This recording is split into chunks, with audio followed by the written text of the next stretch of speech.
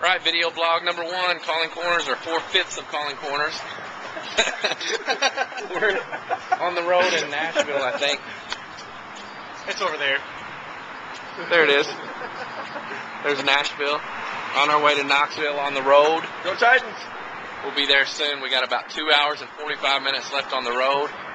We're going to settle into the hotel, maybe drink a little beer, get ready for tomorrow's activities. We've already, since we've been on the road, we've already seen, been in a gas station bathroom where they had two handprints against the wall, uh, like so. I don't know if you can see that or not. It's creepy. but Matt noticed it. It is creepy. Hope you truckers had fun. Hey, they're honking. Hey! Oh, and they're barking. That's my dogs. We'll talk to you soon. So, we're right outside of Knoxville, I think, and we just got the bathroom key. We're gonna grill something. I'm going to get some wieners. Yeah. More to come.